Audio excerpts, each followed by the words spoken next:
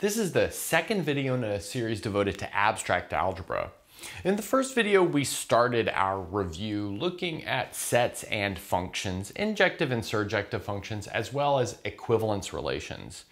Today, we're gonna do a bit more review before really getting into the meat of new objects for abstract algebra in our next video. So today, we're gonna talk about some things that have to do with the integers. In particular, we'll look at the principle of mathematical induction, and we'll also look at the Euclidean algorithm, divisibility, and uh, the fundamental theorem of arithmetic. But we're gonna go through this kind of quickly because all of this is from a previous course.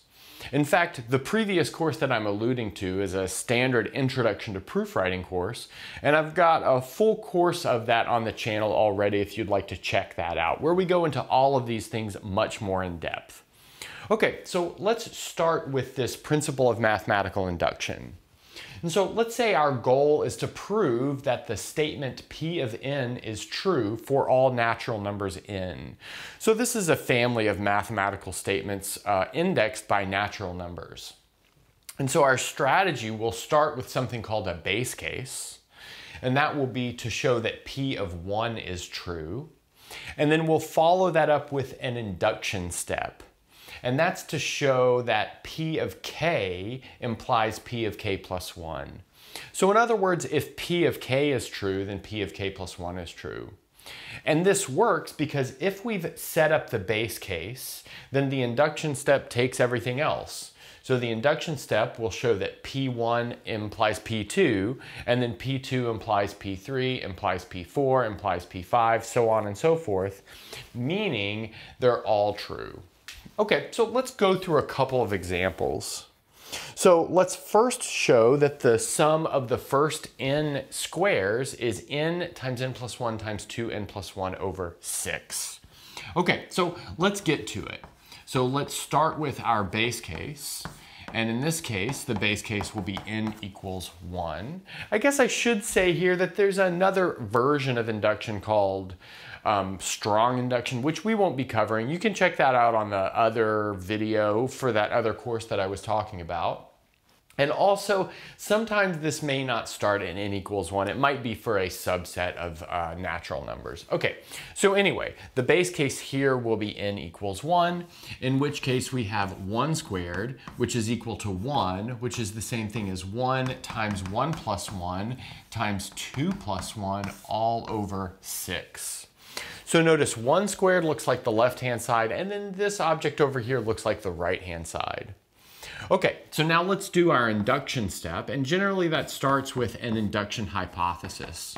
So let's suppose that for some k bigger than or equal to 1, we know that p of k is true. So in other words, this statement holds where we replace n with k. So we have 1 squared plus 2 squared, ending at k squared equals k times k plus 1 times 2k plus 1 all over 6.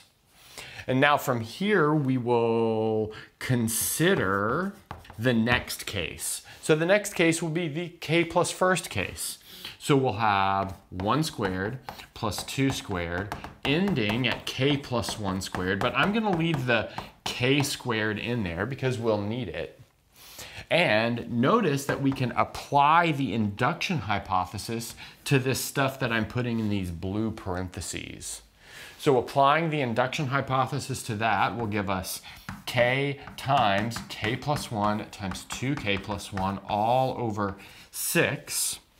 And then I'm going to take that k plus 1 squared and rewrite it as 6 times k plus 1 squared all over 6. Just to like preemptively give myself a common denominator. Now let's factor out a common factor. And the common factor here will be k plus 1. So notice I've got k plus 1 as a factor of the first term and of the second term. So pulling that k plus 1 out, I'll also pull out an over 6 out.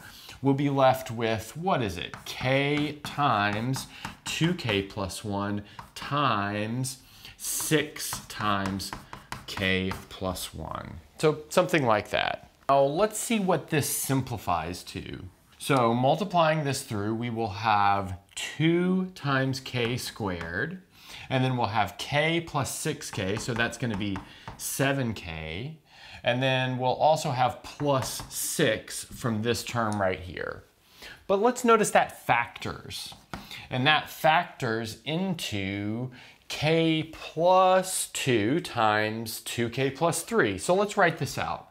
We have our final thing is k plus 1 times k plus 2 times 2 times k plus 3 all over 6.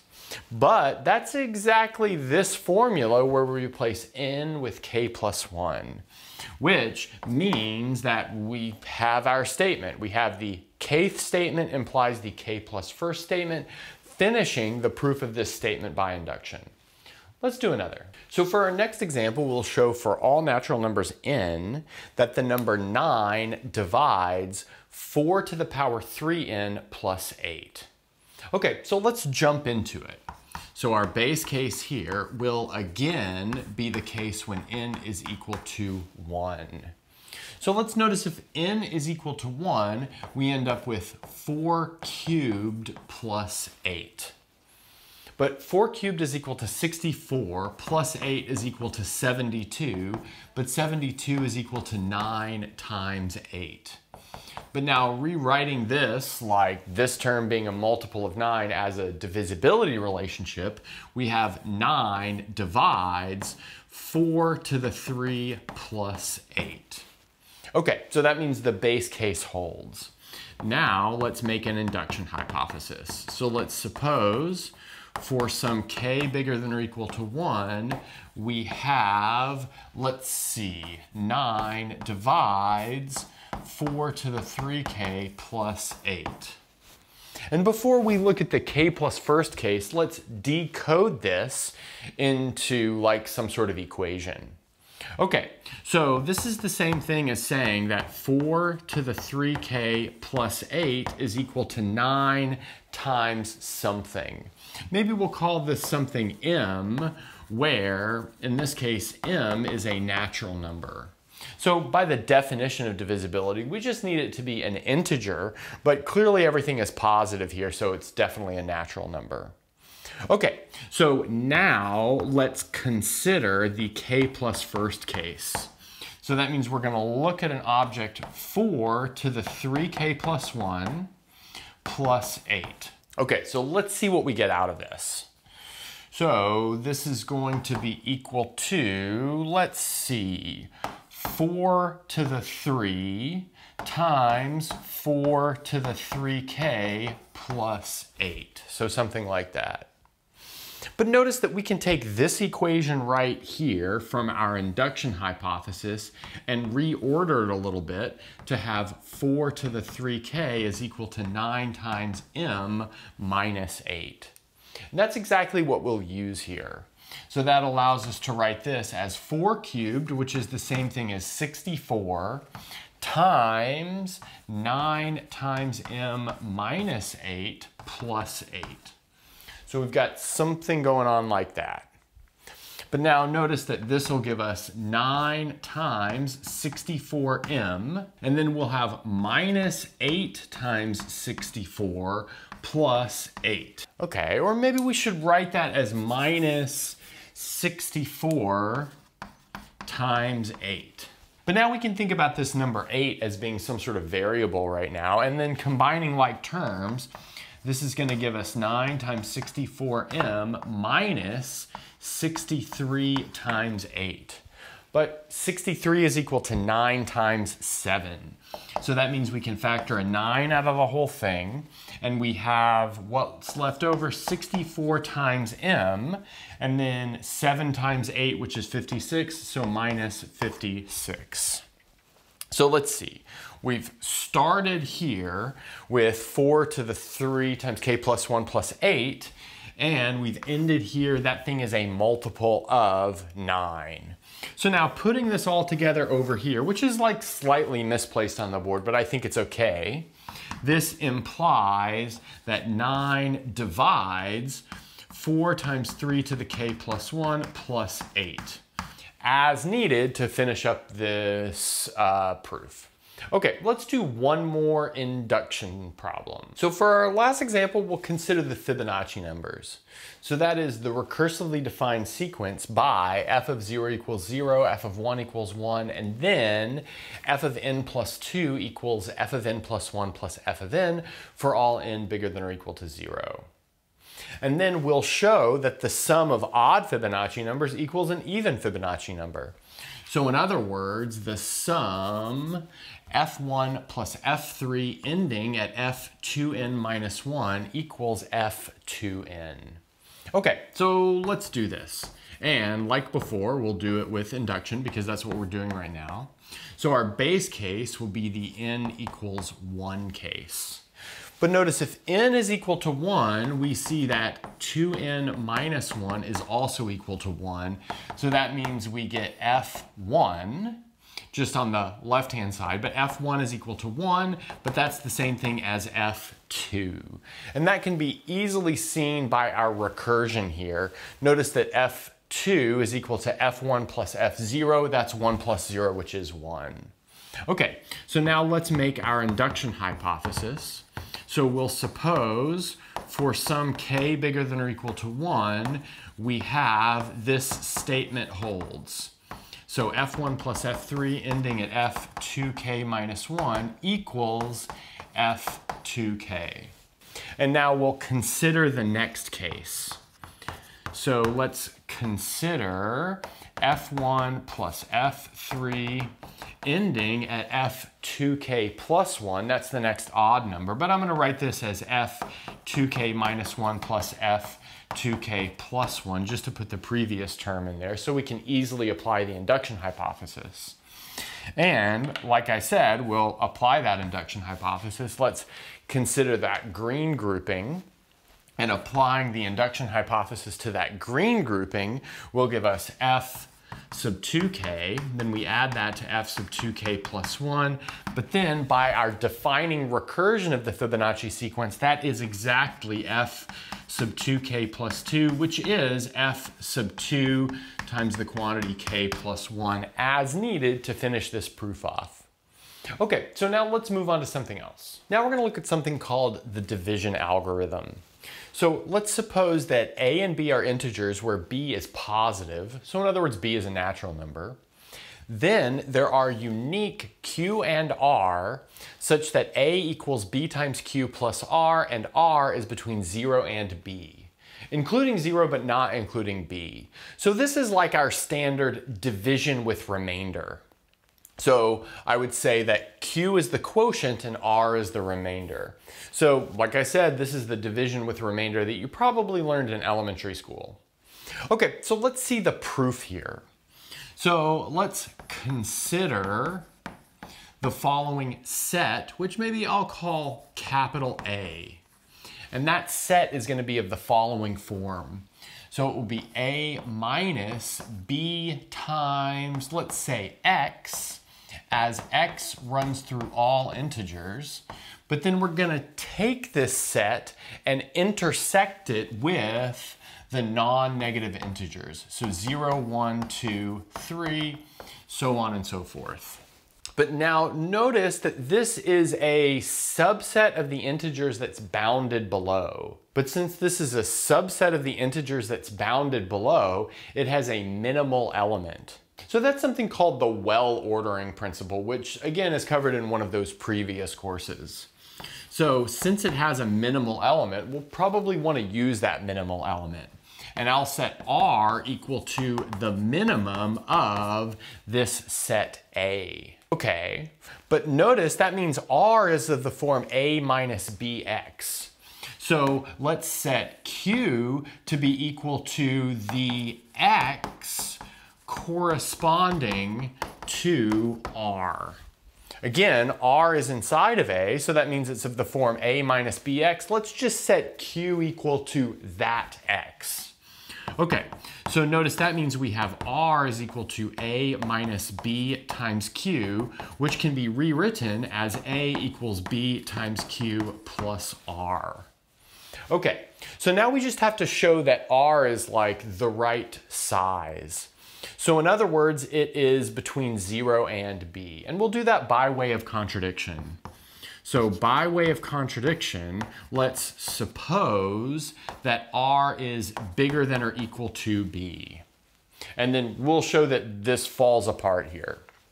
Okay, so what does that mean? That means we can write R as B plus M, where M is bigger than or equal to zero. That's definitely true. If R is bigger than or equal to B, then we can achieve R by adding something to B. Now let's loop that back into our equation right here. So that's gonna give us B plus M equals A minus B times Q. But we can rewrite that to see that M is equal to A minus B times the quantity Q plus one. After moving that B over and then factoring the B out, I think that's pretty straightforward arithmetic there. But notice, what do we have here? Now we have this this is in the set A, just by its shape here. But let's also notice by construction, since B is bigger than zero, we have M is strictly less than R, which is the minimum of A. So what have we done? We have found an element from A that is smaller than its minimum, but that's our contradiction. So we have a contradiction, meaning that R is not bigger than or equal to B, which means it's strictly less than B.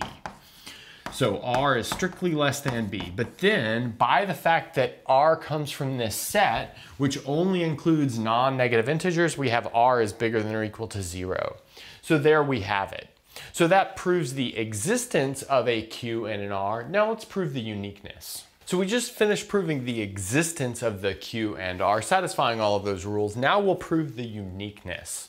So let's suppose that we have two sets of numbers, Q1, R1 and Q2, R2, so that A equals B times Q1 plus R1 and a equals B times Q2 plus R2. Okay, but notice that immediately tells us that B times Q1 plus R1 equals B times Q2 plus R2. But now let's, without loss of generality, assume that we have some ordering on the R's. So let's assume that R1 is less than or equal to R2. Well, we've got two numbers. One of them has to be bigger than or equal to another, so that's not problematic. And now let's notice that we have R2 minus R1 is the same thing as, so that's moving the R1 over here. We're gonna move the B times Q2 over here, giving us B times, let's see, Q1 minus Q2. Okay, and then let's like flesh this out a little bit more. So since R1 is less than or equal to R2, and R1 and R2 are both between zero and B, then that means we have R1, R2 minus R1 is also between zero and B. So that follows pretty easily. Okay, so let's look at this. We have R2 minus R1 is a multiple of B, but it's between zero and b, not including b. Well, the only multiple of b in this range is zero. So that means that R2 minus R1 in fact must be equal to zero. Again, because it's the only multiple of B in that allowed range. But this tells us that R1 is equal to R2. But then very clearly it follows that Q1 is also equal to Q2, finishing the uniqueness portion of this proof. Okay, so now we're gonna prove something called Bezout's lemma. Now we're gonna prove something called Bezout's lemma, which has to do with the GCD of two integers. Now, again, in that previous course that I've been talking about, we looked at what the GCD of integers is. So perhaps you'd like to review that if you need to. Okay, so let's look at our statement here. So let's suppose that a and b are non-zero integers, Then there are other integers, x and y, such that ax plus by equals the GCD of a and b. So in other words, we can write the GCD of two numbers as a linear combination of those numbers. Notice there isn't anything here about uniqueness, and that's because this writing is not unique, as we'll see via example. Okay, so this proof will involve a pretty similar strategy to what we did in the previous proof. So let's also consider a set in this proof. Maybe since we used A in the previous proof, let's use B, although we could reuse A because we're in a different proof now. Okay, so let's consider the set B, which is A times U plus B times V, as U and V run over all integers, but then we're gonna intersect that with the natural numbers.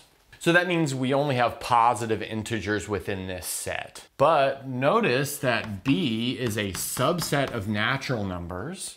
But given that b is a subset of the natural numbers, by the well ordering principle, it has a minimum.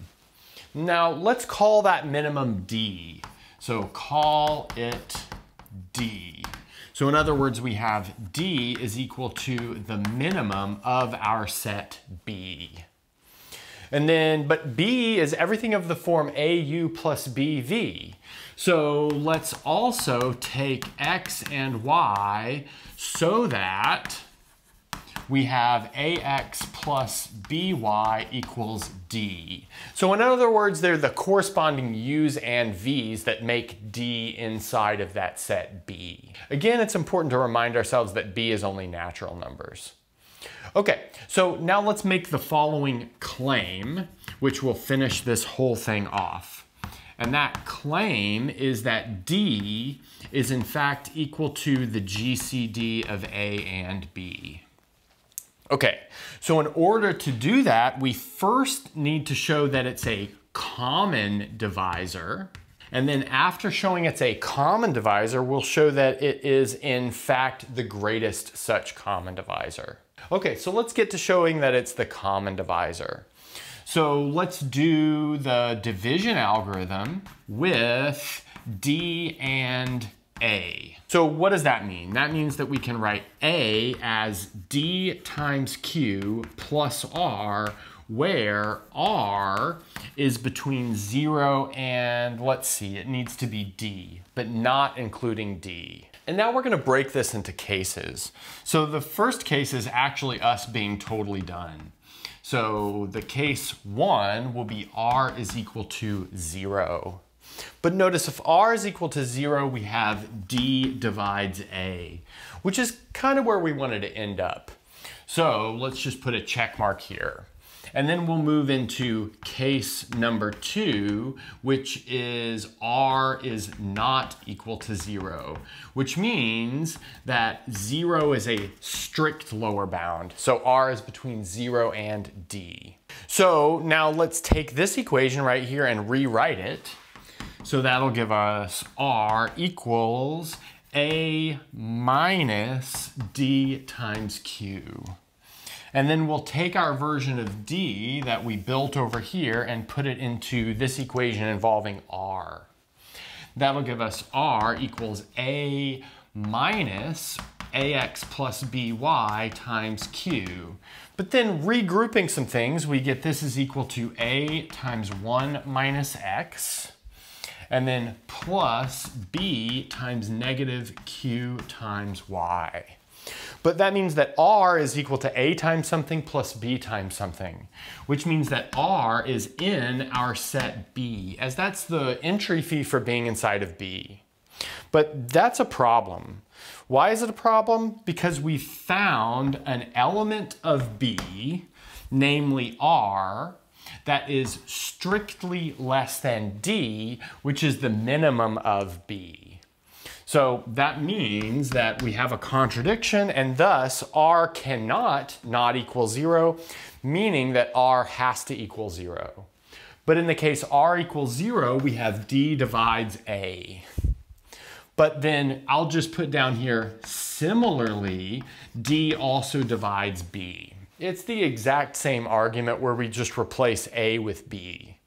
So that means we in fact do have A and B are a common divisor. Now let's show that they're the greatest such common divisor. So we just showed that D was a common divisor of A and B. Now we'll show that it's the greatest common divisor. So let's suppose we have another common divisor. Let's call it C. So we have C is a natural number such that C divides A and C divides B. But let's notice that that means that A is equal to C times, let's say maybe M, and B is equal to C times N for M and N, which are integers. So that's just the definition of divisibility. Okay, now where are we gonna go from here? Well, we probably want to use this equation here. So let's see, we have D is equal to AX plus BY, but then that's going to be equal to C times MX plus C times NY. But notice that's in fact equal to C times MX plus NY. But now reading from here to here, we see that C divides D. But that's exactly the condition we needed for the greatest part of the greatest common divisor.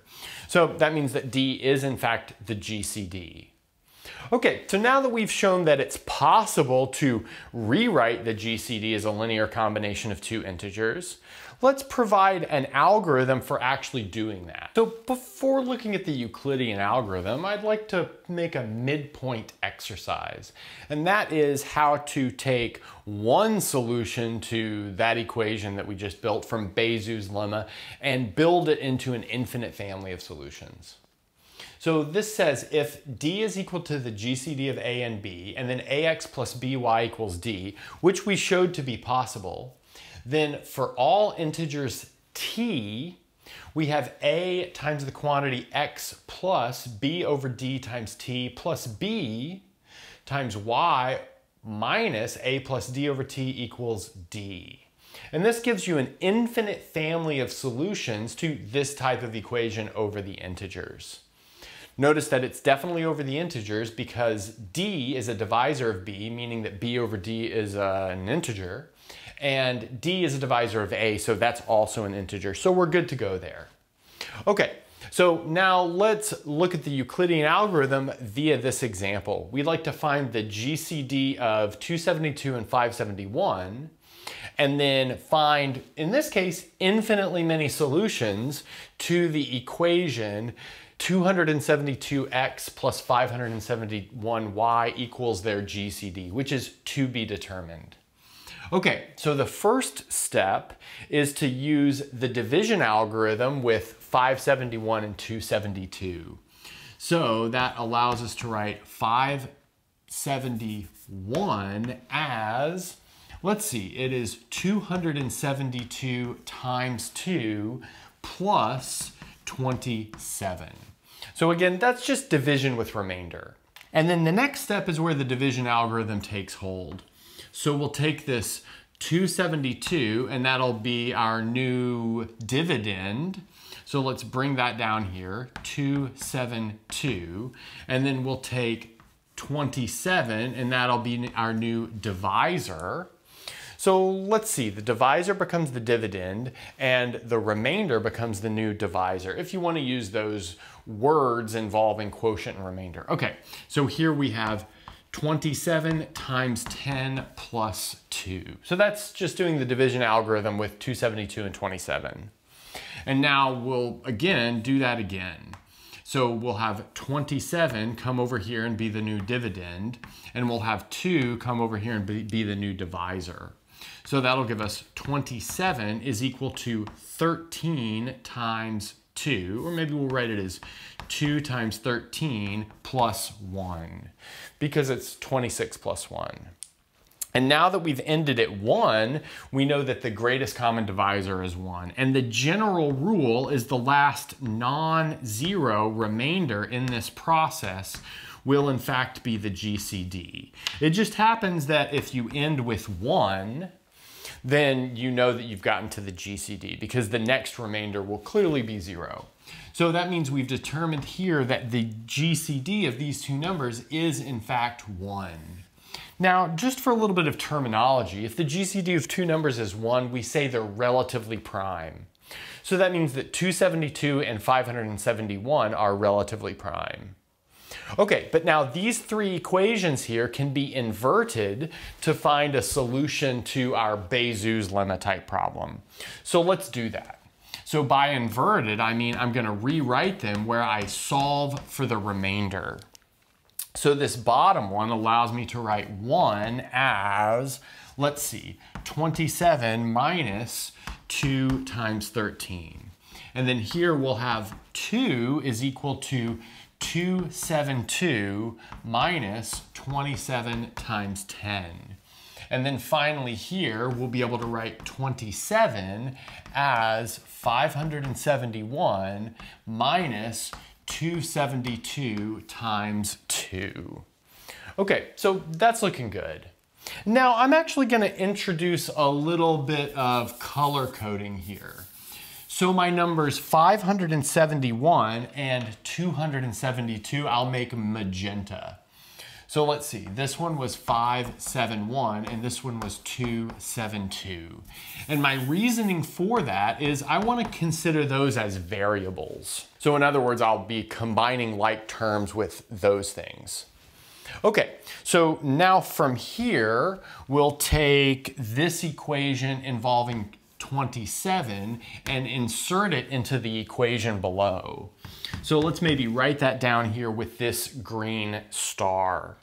So that means we'll have 2 is equal to, let's see, I have magenta 272, and then minus uh, 27, but notice 27 is that object right there. So let's see, 571 and then 272 times 2, and we're subtracting them.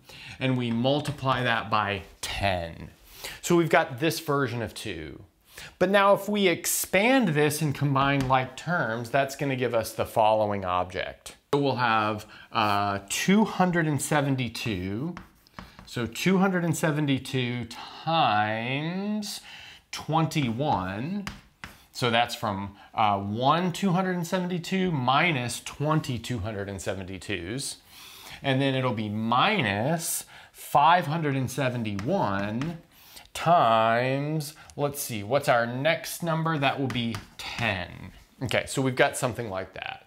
And then our next step will be to take this version of 27 and insert it down here into this equation. And then this version of two, actually this version of two right here that we've ended with and insert it into this equation. Okay, so let's put that down here with this purple star. So let's see, that's gonna give us one equals 27, but we have 27 is that form up there. So that's 572, and then minus 272 times 2. So we have that. Okay, so again, that's our 27 right here. And then after that, we'll have minus 13 times this version of 2 that we have up here. So this is going to be 272 times 21, and then minus 571 times 10. Okay, so we've got this kind of gnarly expression, but notice that we can combine like terms if we view this 571 as one of our quote unquote variables, and then also this 272 as one of our variables. So I'll, okay, so I'll let you so I'll let you work out the details of the coefficients, but we'll arrive that at the top of the next board, and then we will take this single solution and build it into an infinite family of solutions using our rule over here. So putting everything together from the previous board, we have the following equation. 571 times 131 plus 272 times negative 275 is equal to 1. Now let's expand that to an infinite family of solutions using our rule over here, which means we're going to multiply each number by one over the GCD and then by this t here. In this case, the GCD is one, so this is pretty straightforward. Okay, so here we'll put minus 272 times t, and here we'll put plus 571 times t. Notice those two terms will all cancel when we expand this, but this does give us an infinite family of solutions as t ranges through all integers. And now notice that our maybe base solution has a negative number here and a positive number here. But using our family, we can actually change where the negative number is, which will actually be somewhat useful later on down the line for us. And so let's, for instance, take t equal to 1, and we'll see that we get this new solution. So we have 571 times negative 141, and then plus our 272 times the quantity, let's see, 296 equals 1. So we've just moved where the positive number is. Okay, so I'm gonna end with some results involving prime numbers. We're not gonna prove them, we're just gonna review the results, and then I'll leave you with some warm-up exercises. Okay, so here are those three classic number theory results. So I guess I should point out that some number theory will be useful for dealing with groups, which we're about to look at in the next video, although definitely not all of a number theory course, as a number theory course could be an entire semester long course. But here are three maybe important results that won't be explicitly used very often, but are just useful to keep in mind. So the first is that there are infinitely many prime numbers. The second one says that if P divides AB and P is prime, then P divides A or P divides B. And I'm actually gonna sketch a very short proof of that right here because it uses like a nice trick. So if P does not divide A, then the GCD of P and A is equal to 1, which means we can write PX plus AY equal to 1. But then, since P divides AB, we also know that A times B is equal to P times Z for some integer Z. And then maybe I'll leave the rest of this as like a little bit of an exercise, but from this step right here and this step right here, or from those two equations, it's pretty easy to arrive at the fact that P divides B. And that'll prove this statement. So if P does not divide A, then P has to divide B. Okay, and then our final, like maybe important number theory result, just to keep in mind, is called the fundamental theorem of arithmetic.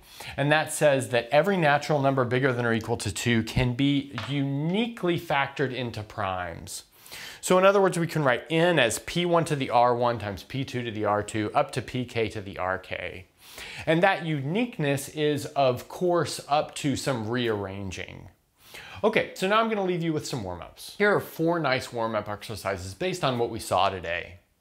So the first is to show that negative one squared plus two squared minus three squared plus four squared minus five squared. So it's the alternating sum of squares ending at minus one to the n times n squared is equal to minus one to the n times n times n plus 1 over 2. So this is like an alternating version of that thing that we started the video with.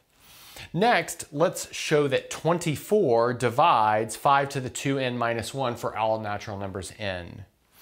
Next, let's find the GCD of 123 and 672, and then an infinite family of solutions to the equation 123x plus 672y equals their GCD. Maybe importantly, let's look at two explicit solutions that have x positive, y negative, and vice versa. And then finally, let's finish that proof that we sketched on the last board. So if P divides AB, that implies that P divides A or P divides B. So there's not much left to to finish there, but I think that would be a nice exercise as well. And that's a good place to stop.